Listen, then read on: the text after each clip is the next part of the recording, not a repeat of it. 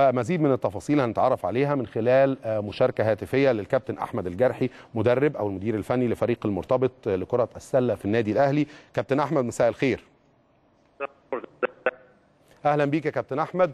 طبعا كل التهنئة وكل التقدير بنقدمها للجهاز الفني وللاعبين على النتائج الرائعة والأداء الجيد اللي وصلنا لتحقيق هذه الثلاثية في الموسم الماضي. وبنتمنى لكم التوفيق إن شاء الله وإنجازات أكبر في الموسم الجديد. ربنا يخليك طبعا. آه يعني حاجة جدا يعني نقدر نقدمها لجمهور النادي الأهلي. نتعب في الآخر عشان بنشوف جمهور النادي بيبقى فرحان بالنتائج. فدي لوحدها طبعا ده تقدير معنوي كبير جدا. لينا بنستناه كل آخر موسم والحمد لله فريق المرتبط بقاله سنتين ثلاثة الحمد لله بيكسب كل البطولات وإن شاء الله ربنا يعني قدرنا إن إحنا نقدر نحافظ على الكلام ده السنة دي إن شاء الله.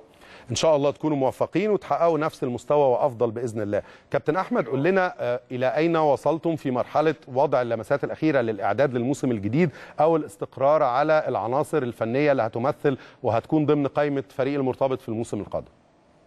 والله حضرتك عارف إن إن إن الجيل السنة دي اللي هيلعب المرتبط هو الجيل مواليد 2003 2004 آه متبقي معايا من فريق السنة اللي فاتت سبع لعيبة مواليد 2003 آه في بعض الولاد كنا مودينهم أعارة السنة اللي فاتت لأن طبعا كان فرصتهم في المشاركة بعيدة. ف اللي ودينا في نادي الصيد لعيبة في نادي الصالات نادي الشرقية الدخان آه لعيبة كتيرة. ف فرجعناهم طبعا. زائد إن إحنا طلع لنا من تحت 14 سنة جيل 2004 كامل حوالي 15 لعيب. مع التدعيمات يعني اللي إحنا بنشوف إن هي ممكن تفيدنا فبيبقى عندنا حوالي 30 لعيب لازم طبعا القائمه توصل لماكسيمم 18 ل 20 لعيب. فطبعا أنا بادئين بقالنا بالظبط كده من نص رمضان بقى وبعد العيد شغالين. يعني بنقيم الولاد في عمليه المفاضلة والتقييم للاعبين في الوقت ده. بالظبط.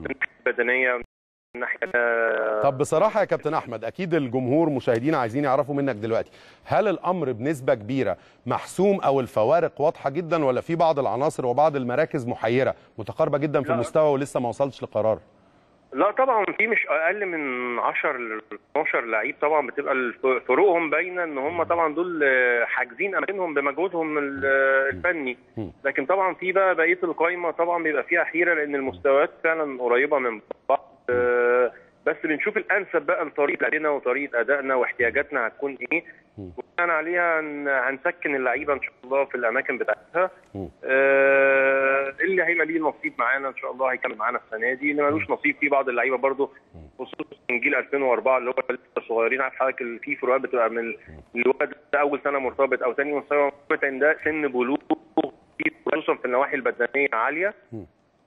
معاك يا كابتن. آه هنقدر إن إحنا ال 30 لعيب هم قوام النادي الأهلي نحافظ عليهم بشكل إن إحنا هيبقى معانا قائمه هتلعب باسم النادي الأهلي السنة دي وهيبقى في قائمه مصغرة بنسبة يعني تفوق 100% بالاتفاق طبعا مع كابتن طاهر المدير بتاعنا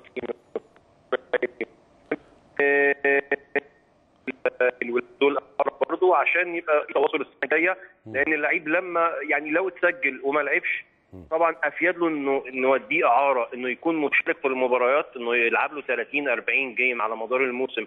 يجي السنة اللي جاية بيبقى كسب خبرة الماتشات. أفضل طبعا من موجود متسجل وما بيلعبش في النادي. أكيد. طيب سؤال أخير قبل ما نختتم الحوار معاك كابتن أحمد. هل كمان بتطلعوا على مستوى استعداد أو تحضير المنافسين للموسم الجديد؟ إحنا فين وسط مستوى أي إضافات جديدة لأي فريق من الفرق اللي بتنافس الأهلي في مرحلة المرتبط على الألقاب المختلفة؟ وهل إحنا في الصدارة ولا لأ؟ هل عندنا أفضل العناصر ولا لأ؟ هل بتبص حواليك عشان تعمل مقارنات فنية وتحاول تكون عندك المجموعة اللي هي الأفضل وتشكل أفضل مجموعة عناصر قبل ما ينطلق الموسم بالمقارنة بالمنافسين ولا لأ؟ والله أنا أقول لحضرتك طبعا إحنا عارفين طبعا المنافسين وفي تدعيمات وفي يعني يمكن الجيل ده آه في السنة في ال 14 سنة الجيل ده اخذ تاني الجمهورية عمل ماتشات كويسة اخذ تاني الجمهورية كان اتحاد اسكندريه واخد أول الجمهورية. سبورتنج فرقة قوية جدا الفروق ما بين الأندية قريبة. لكن أنا بصراحة عشان أبقى أمين مع حضرتك طبعا كلنا كل واحد بيدعم فرقته من وجهة نظره بالشكل اللي هو شايفه. لكن أنا اللي بحب إن أنا دايما أزرعه في في الولاد معايا. إن أنا ماليش علاقة بمنافس أنا ماليش علاقة بحاجة. إحنا النادي الأهلي النادي الأهلي ده يعني جمهوره مش بيقبل غير بالمركز الأول.